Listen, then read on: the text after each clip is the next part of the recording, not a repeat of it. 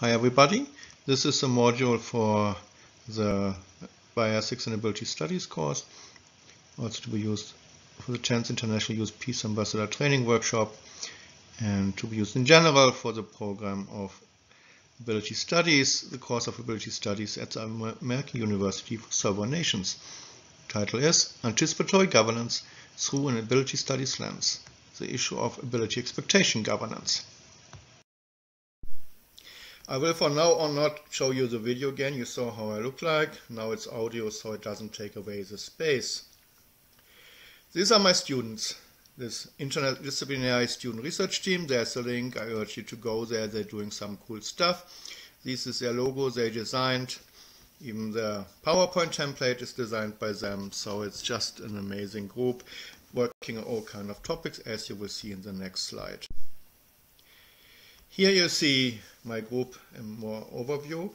We cover many topics, as you can see, from A to W, covering as different things like aging well, anticipatory governance, artificial womb, autism, all the way down to synthetic biology, sport, sustainability, and water. Um, on the bottom left, um, on the bottom picture, the left one is Lucy Diep, my master student, and the right one in the picture is Bushra Abdullah. The middle picture on the right is Vernon Leopatra, who generated the logo for this group and the name, coined the name, and the right Natalie Ball, a member of the group. And then the top picture, some of uh, in my backyard.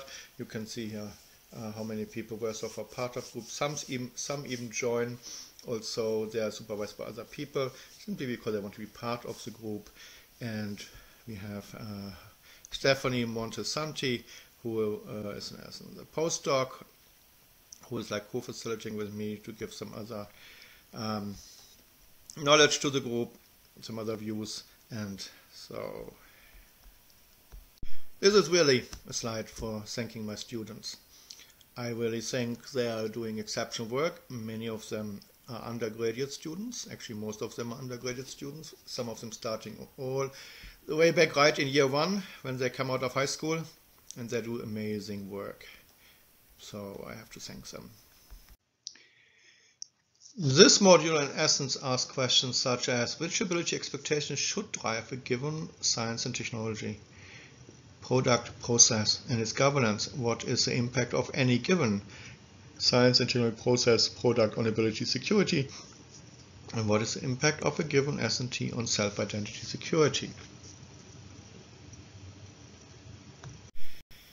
Disability studies I already explained. Now ability studies goes beyond. It really looks in general at the dynamics around ability expectation, a want stage and ableism a need stage, and the impact on human, human, human, animal, and human nature relationships. Now the term ableism evolved from the disability rights movement in the United States and Britain during the 1960s and 1970s. As used within the disability rights movement and disability studies, it questions the expectation of species-typical linked abilities, while labeling subspecies-typical abilities as deficient, as impaired, as often undesirable, and leading often to the accompanying disableism, the lack of accommodation, enthusiasm for the needs of people and other biological structures who are seen to not have certain abilities the unwillingness to adapt to the needs of others. However, ableism goes beyond body ability expectations. Ableism as such also is not negative, it just highlights that one favors certain abilities and sees them as essential. One could have a positive slate on abilities, expectations, ableism, like saying this, that one sees, for example, equity as essential. So, Ableism is one of the most societal entrenched and accepted isms, and one of the biggest enablers for other isms. For example, sexism is often justified by certain ability expectations. Like in the Western countries, women weren't allowed to vote because they were told that they are not rational, so they don't have the ability of rationality. In the US, we had the Bell Curve, which is a book which in essence says, I mean, certain ethnic groups are more cognitive able than others.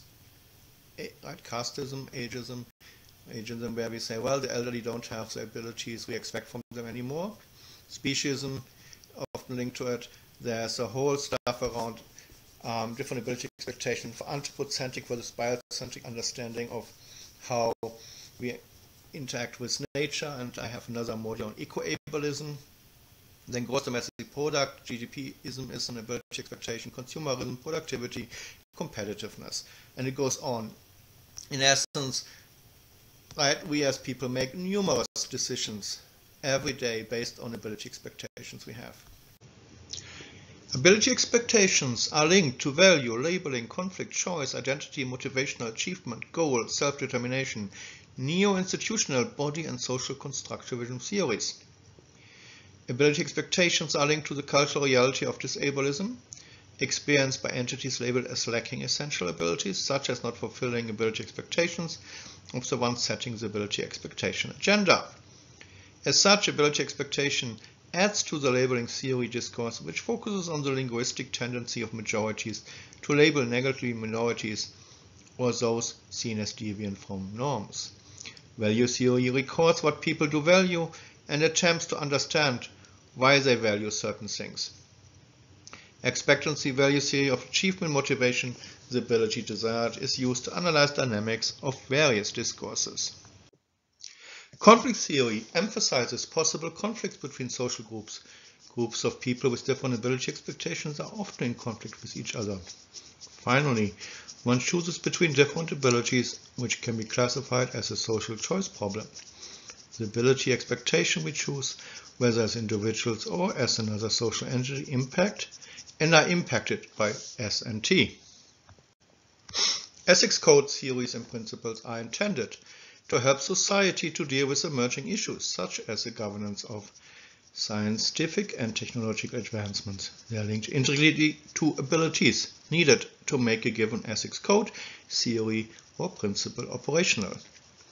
A given ethics theory, code, or principle privileges certain abilities, and as such, its uptake correlates with the privileging of certain ability expectations. Privileging certain ability expectations were and are one trigger for the development of ethics theories, codes, and principles.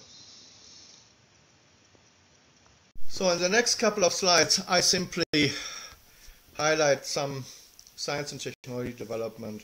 And this quote is, seems right, very telling. I just give you the translation because I can't speak French.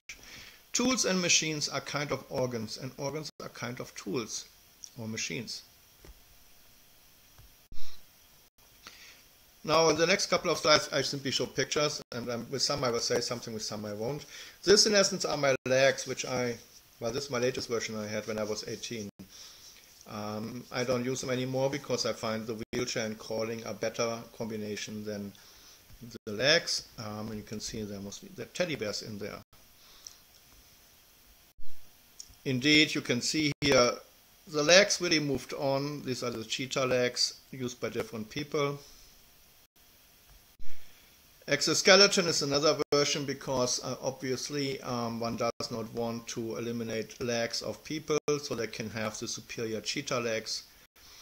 Um, right, legs which I by now, I mean for example Pistorius and some others who wear them, I can outrun uh, high performance athletes with, with normal legs, so-called normal legs, species typical legs.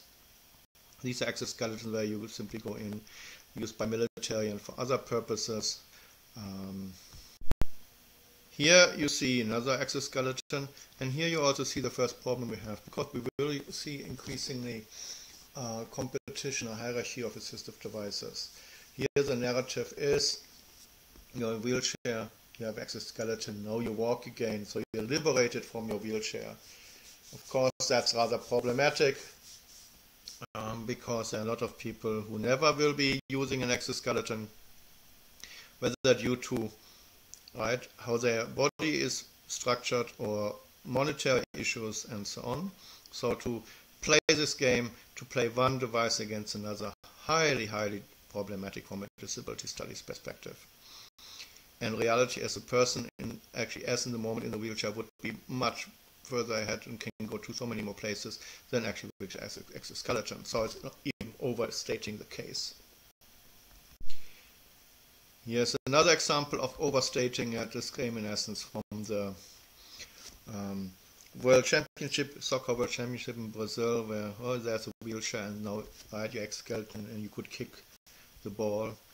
Um, but reality is, yeah, the same applies. Here again about soccer, and you can see that this is now not an assisted device. It seems to be we just modify humans so we get better legs, so we can actually play better soccer. Interestingly enough, this came from Puma, so this is like a where sells a lot of soccer shoes. And it's also interesting that, of course, we have at the moment a big controversy on germline modifications, um, right, where we right, could achieve this down the road. This is an interesting one. This is, a, in essence, was a conference in 2001 organized by the National Science Foundation and the Department of Commerce in the US. And it was about, I mean, finding a niche for nanotechnology. So they coined, in essence, the term converging technology, linking nano to bio to information technology and cognitive sciences, NBIC. And they could have chosen any topic, but they chose improving human performances. That in essence, so right, with using different technologies to improve human performances and keep this in mind. This is not about therapeutic applications per se.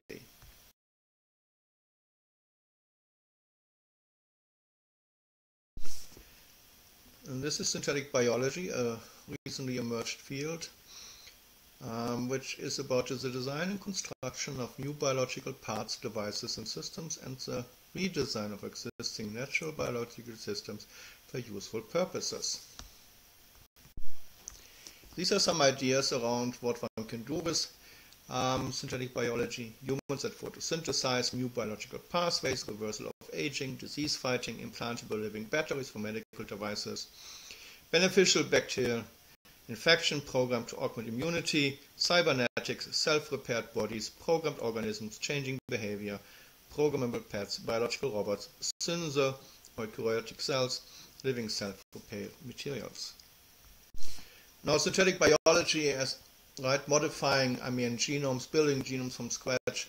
We are, of course, in the moment only on the uh, rudimentary um, low biological or organism level.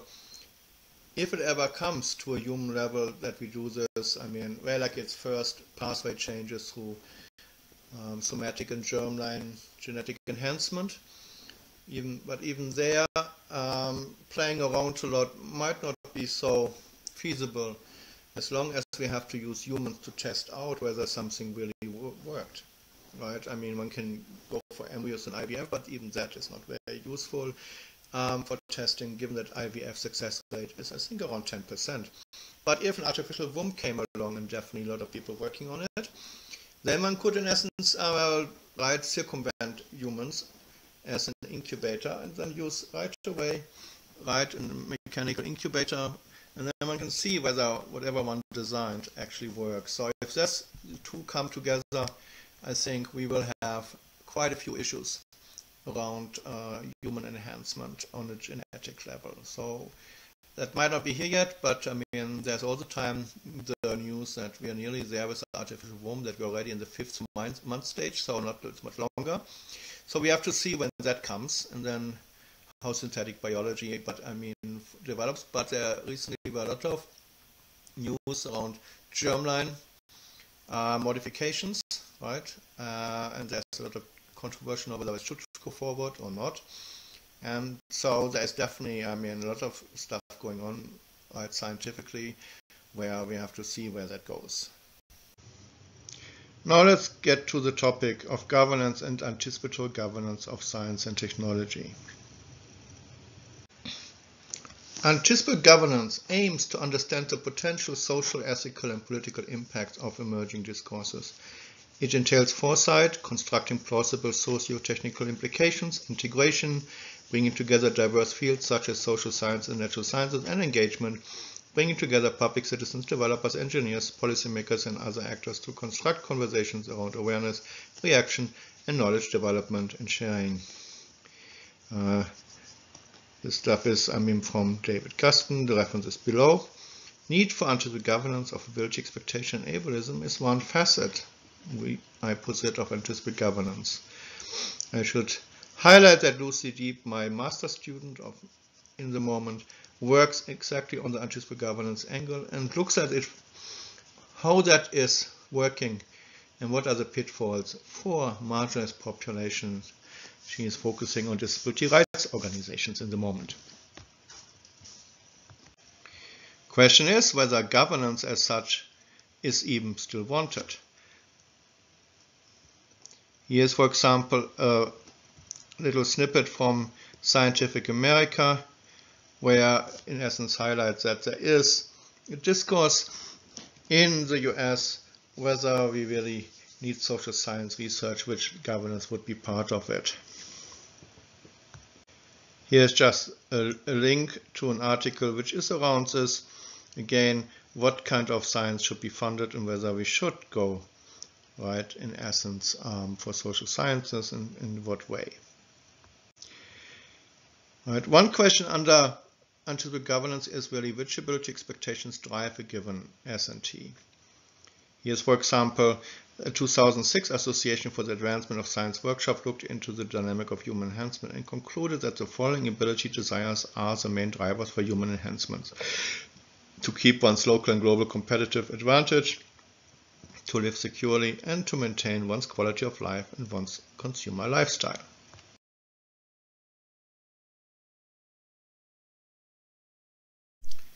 That's the NBIC report, which I already mentioned, I mean, uses terms such as productivity over 60 times, efficiency 54 times, and competitiveness 29 times to sell their message.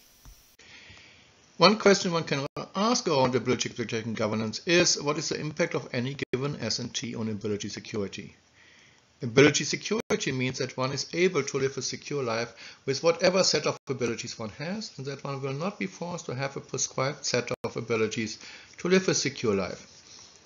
For example, even if one doesn't have the ability to work, he or she should be able to secure employment. Ability security is, I would posit, and I made this case in 2010, is part, should be part of the WHO framework of human security, which consists of economic, food, health, environmental, personal, community, and political security.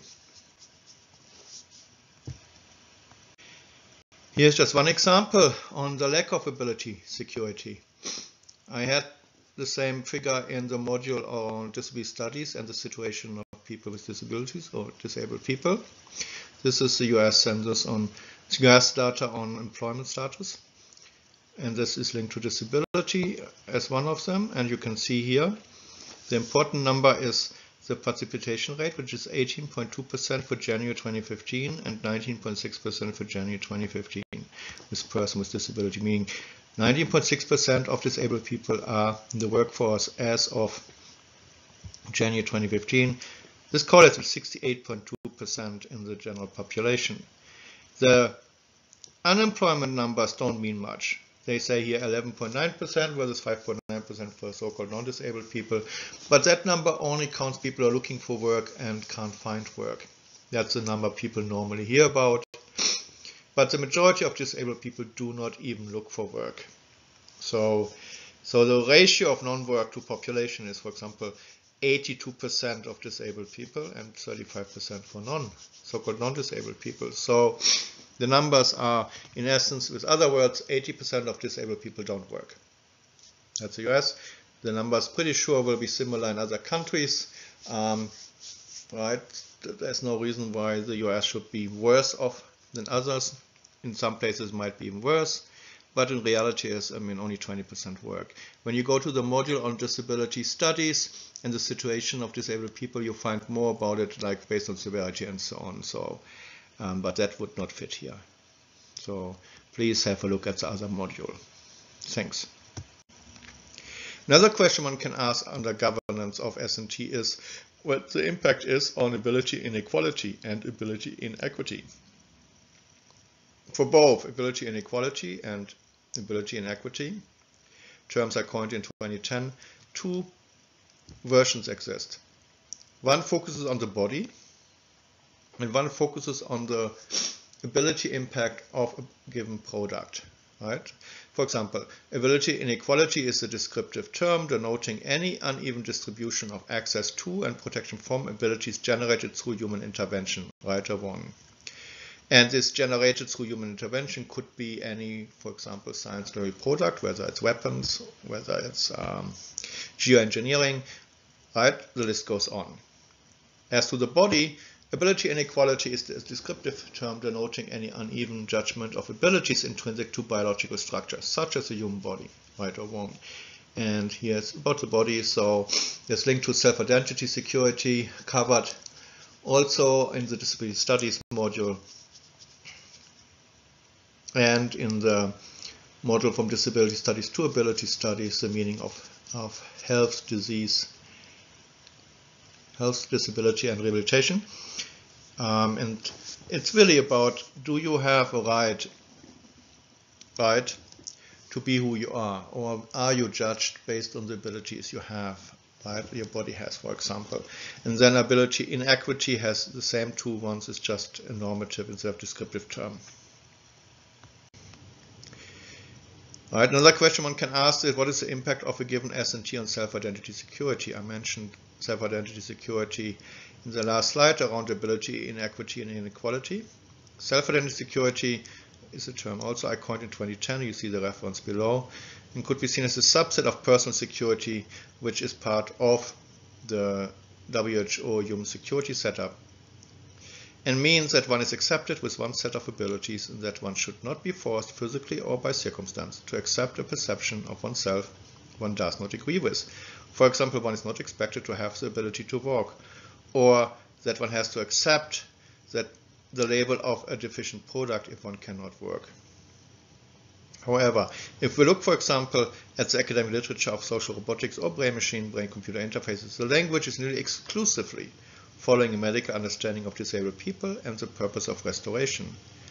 The narratives are not indicating the ability expectation of decreasing the social discrimination ability diverse pe people experience. So I don't think that there's really a self-identity security available. It will because they're in essence setting the narrative of patient around disabled people of certain abilities. That's covered in Wolbring and Diep below and Yumakulov. Yergens and. Uh,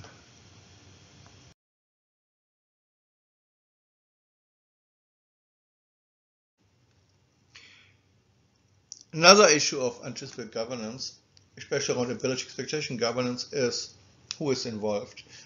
Um, I don't talk a lot about the involvement of disabled people.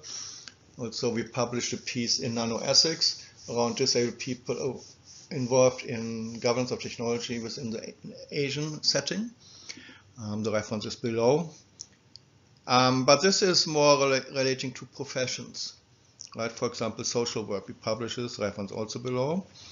And in essence shows that social work, so far when we look at academic databases, we can't find really any engagement of the social work literature with emerging technologies such as social robots or brain-machine interfaces or human enhancement or neurocognitive enhancement, but also not anything around technological governments, governments of technology. That social work is not involved in the governance or in general, right, in, of new emerging technologies is rather surprising and because when we're looking at the vision of purpose of social work education, and this comes from the paper we published.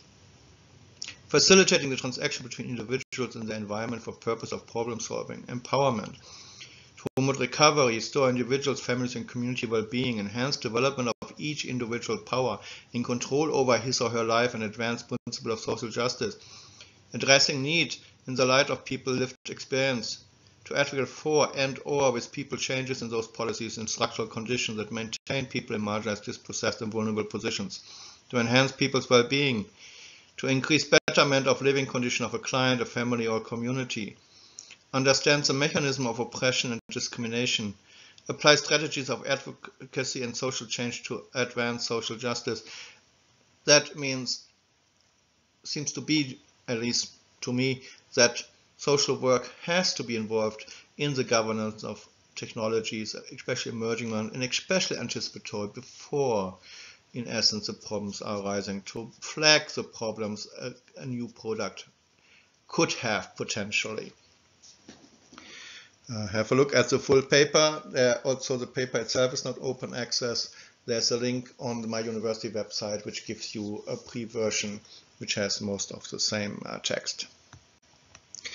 It's not just social work which seems not to be present. If we're using, for example, now here terms like occupational therapy, physical therapy, or rehabilitation engineering, and then we use the term technology governance and governance of technology, uh, there is in essence no hits. And this is, I mean, really issues because with governance, right? If we are, when you look at the module of from disability studies to ability studies, the meaning of health, disability, and rehab, which talks a lot about enhancement of right abilities through new technologies beyond the species typical. Really, the question here is who will be the future client of OT, PT, rehab engineering? Will their future client be the ones who want to be enhanced? Will they serve the enhanced healthy or the improved impaired first?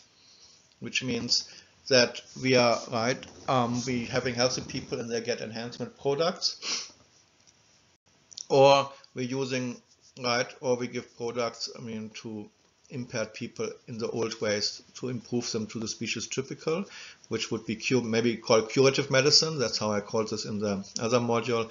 Whereas enhancement, enhanced healthy, I called enhancement medicine. Will they lobby for enhancement beyond the normal for as impaired perceived people? Um, there are papers I wrote this also in the other module.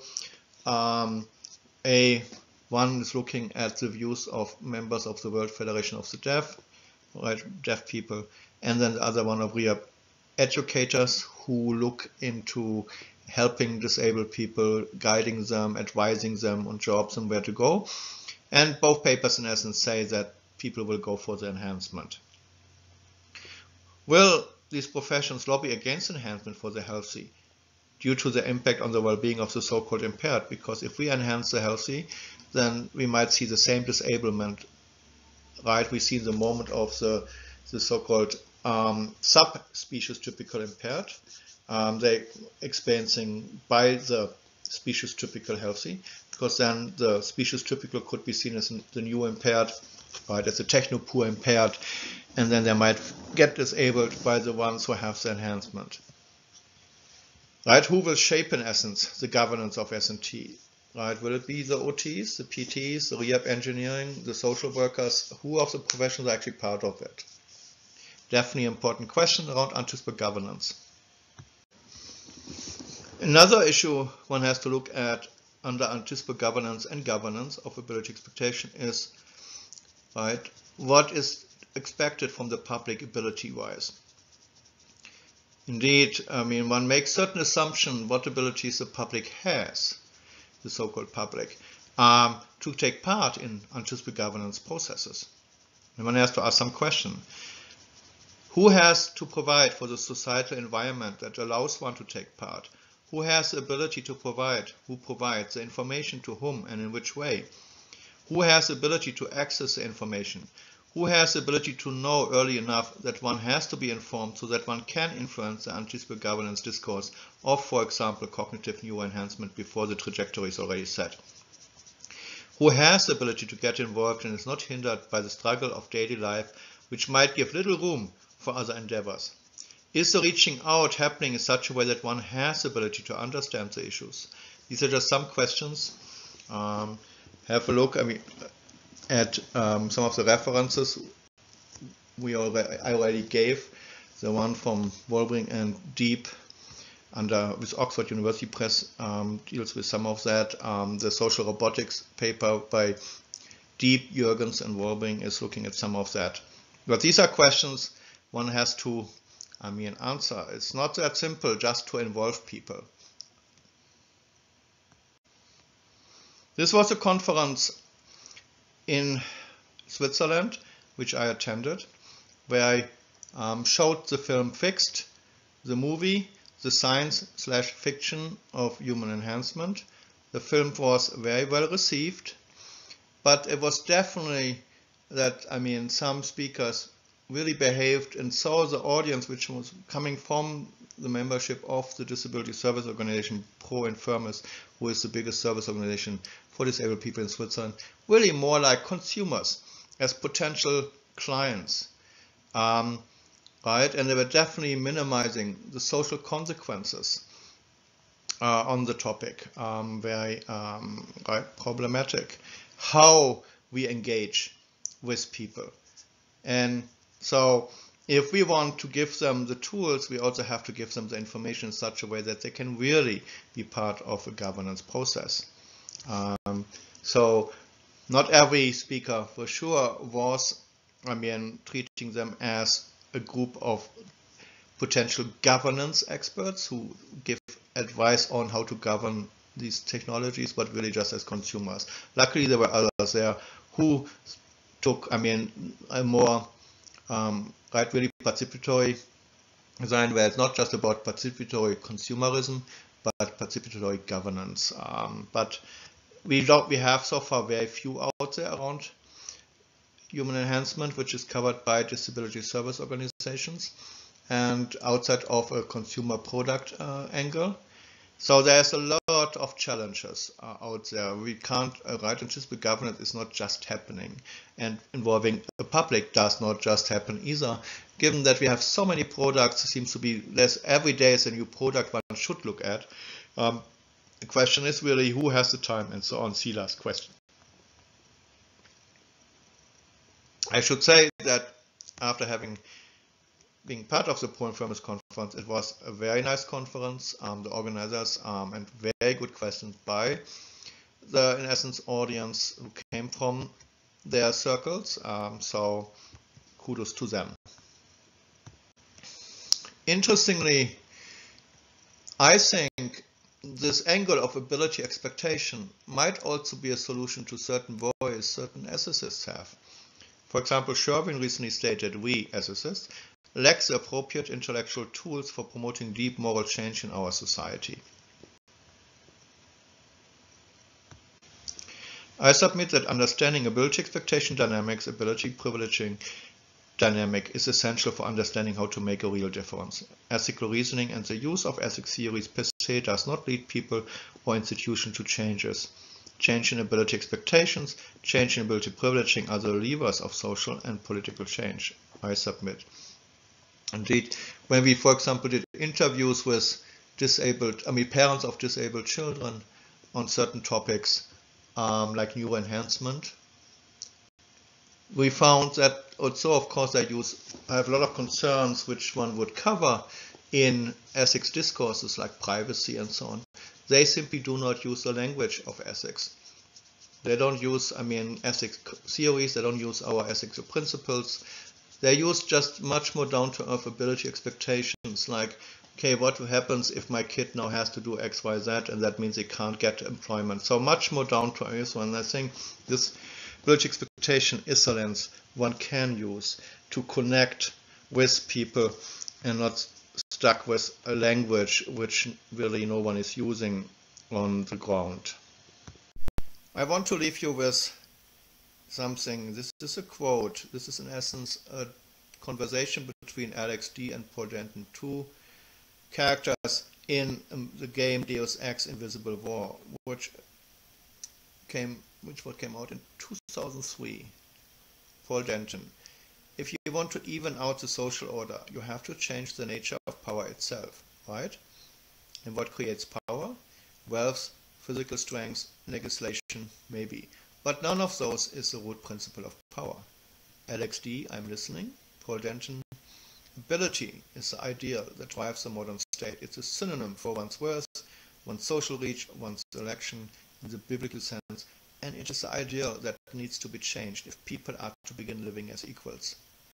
Alex D, and you think you can equalize humanity with biomodification?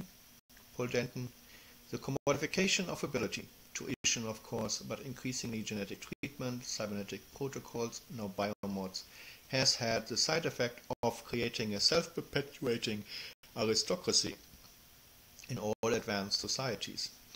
When ability becomes a public resource, what will distinguish people will be what they do with it. Intention, dedication, integrity, the qualities we should choose as a bedrock of the social order. It's interesting that there's a game who covered this where we really, what I really say, would say, we need not just governance of technology. What we need is the governance of ability expectations. We need to look into who has the power to decide which abilities are important and which aren't, and what it means for the ones who don't have the abilities. And indeed, we're having something like an ability aristocracy. Right? It's not right. So I think this is, I mean, the main thing. And so disability studies is a field which looked at some forms of ability expectation, which then led to a disablement of the people who are seen as lacking them. That's why they coined the term ableism. But they are, in essence, this, I mean, it's interesting. If this term would have been coined by the women's movement, like the ableism term, and question would, be, would have been used as a narrative to question, um, right, the women, to right question that we don't allow women to vote in, in certain times and in certain places because of we give them certain abilities right, we think are undesirable or tell them right they don't have certain abilities they need. The academic fields would have right uh, covering women issues and gender issues would have been all over using the term, but because it came out of disability studies, it was hardly picked up, if at all. I mean, this shows you how, how ghettoized disability studies is. And that's why, in essence, I generated ability studies, because I think this is crucial. Ability expectation lead to ability, right, are what drives things. Right? Ability expectation oppression right, one of the main consequences, um, right, of ability expectation, power of certain groups. And the disablement is really an ability expectation oppression. These are two cartoons from David Werner. One, of course, is Nothing About Us Without Us. The slogan came out of South Africa. But it really still highlights that actually a lot of disabled people are not part of the discourse and not with their own views, identities, and so on. You can read it's more about it in the governance one module and in the um, disability studies, the situation of disabled people module. And it's not being normal that's important, but learning to accept our being different, to live and love as fully as we can, and let live. That I think is a very important message. Um, and th that's very simply not our. And that will then, of course, if we're not there, then that's how will right, the enhancement stuff might play itself out in very negative ways. If we do not have, as I said in the disability studies module, if we don't have ability security, which means that I can have an outcome, a living wage, a life, a good life, even if I don't have certain abilities, and if I don't have self-identity security, that I can perceive myself as I want to perceive myself. Without that, I think there will be huge problems. We're moving more and more, we move the Gauss curve more and more to higher abilities and we will see a lot of new marginalized groups. And that's will, and this is a global issue that will play itself out differently in different cultures. Who will be first? Which enhancements we go first for? Which ones will be the first ones to get marginalized who weren't marginalized before? This is not a North American thing. This is not a Western thing. This is everywhere, um, and just will play itself out differently in different places. So this is now the end of this module talking about anticipatory governance, I want to like to thank Lucy Diep, my master student, who works on the topic, who does some great work. You saw some of the references of stuff which is already published, some which is under accepted, and some which under, is under review, which I didn't put there, but will, more will come. And so you can see the publication page where a lot of stuff you can download, a lot of stuff is open access. If you can't access something, feel free to contact me.